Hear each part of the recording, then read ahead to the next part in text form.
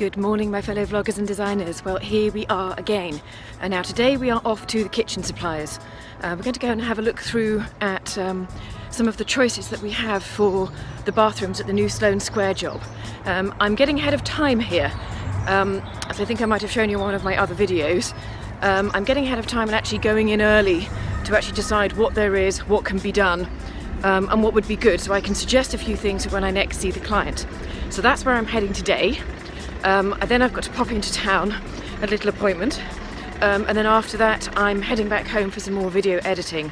So it should be quite a straightforward uh, day, but it does time does run away with you when you go into places like bathroom supplies and kitchen supplies.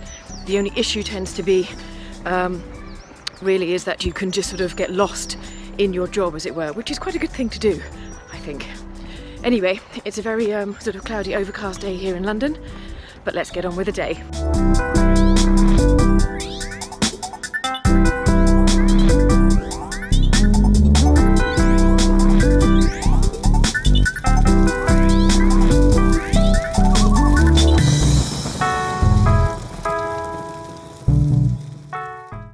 And here we are at the kitchen designers deep in discussion. We're just explaining here uh, to the lady, uh, Sophia, who's putting all the drawings together for us. This is the design that uh, Callan and I have come up with. So we're just uh, just explaining the rudiments of the design uh, to Sophia. We made a little bit deeper. So we that's the heated towel rail bit that will go in. Yeah, so we'll recess a heated towel rail inside that recess.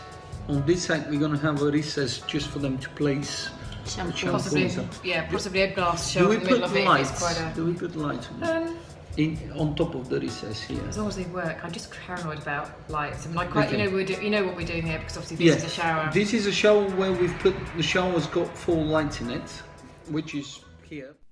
So, because this design is something which I've put together beforehand, it's just relaying all the stuff. So, Callan's obviously got his notes um, here that can be found, and everything will be put into a sort of 3D program, as it were.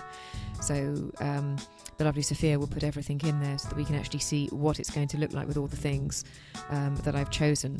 And you generally just have to sort of uh, sit here it is with pen and pencil, just making sure that things fit uh, things look right, um, and just to really go through the scenario planning of can you actually get through the, the door between the shower and the wall, and do you want your shower controls on hand before you get in the actual shower itself, all those sorts of things. So um, there's a lot of explaining to do, and if you can't do it sort of yourself or don't want to do it yourself, it's quite handy having a uh, kitchen and bathroom supplies that can actually know what you're talking about and can actually relay stuff um, together between each other um, and get everything sorted.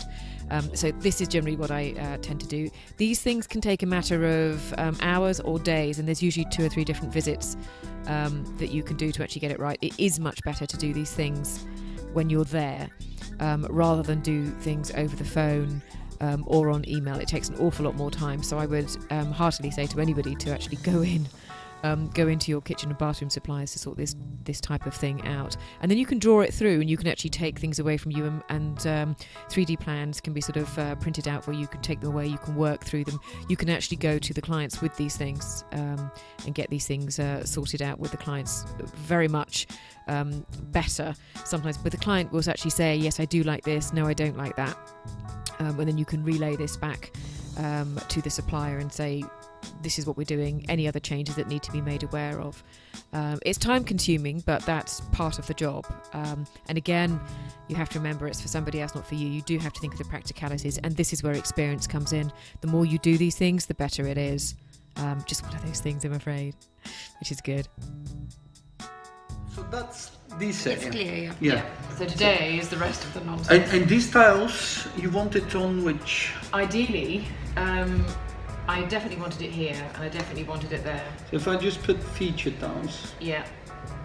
Because I think when they come in there to see it, I'm depending on how it could go, because obviously they're in sheets and they're little, little yeah, the fiddly 320 by 3, uh, well, 3, uh, funny size, I 312. know they're, they're very specific, ridiculously. But I kind of just thought, depending on what it can go in there, if it means, I mean, I guess I can we can look at that once the design. Why not this background be white? Just white tiles with the white tray. And you just have like the surround.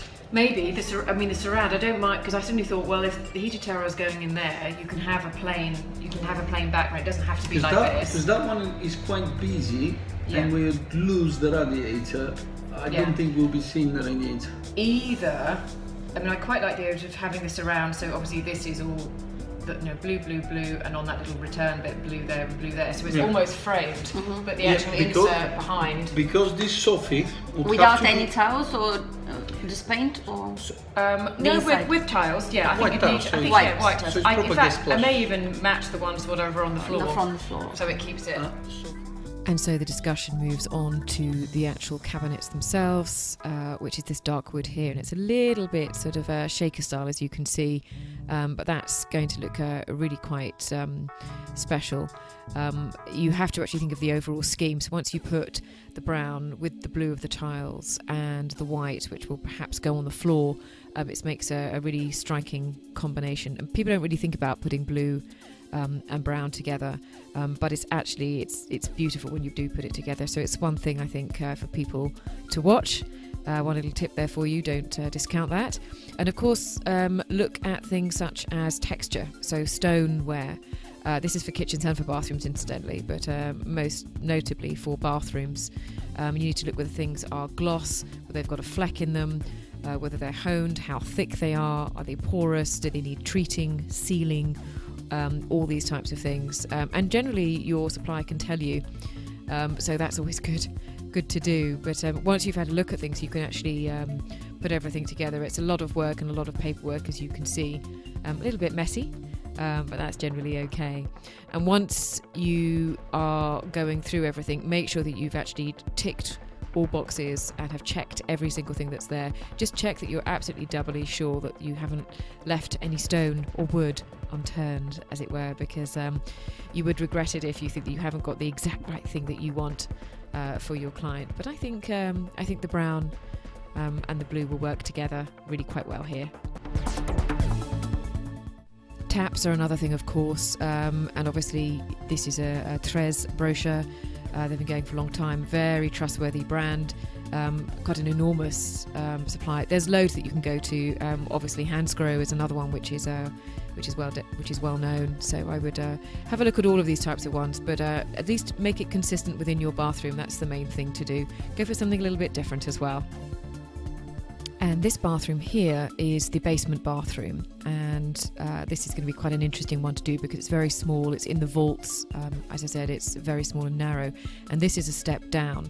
And it's in this corner here that we want to put a shower area in, which means we're going to have to dig down, uh, which is going to cost a bit of money. So I'm not quite sure whether the client wants to do it, but if they do, we're going to hopefully micro cement it, uh, which is a very urban way of doing things, uh, which should be fun. And here is some of the micro cement things that you can do shown here. Um, and it's quite interesting to see all the different bits that you can do with it. Um, and it's just sprayed on, and it's um, you have to do uh, think a couple of layers, but it does work, and you can do all sorts of different shapes um, and sizes for baths, um, and you can just leave it there. It's a very urban look. Um, she may not like it, but it's a it would be a, a definite modernisation um, if they were to do it, whether it's in a basin such as this or whether it's a whole bathroom. We shall see. Exciting times ahead.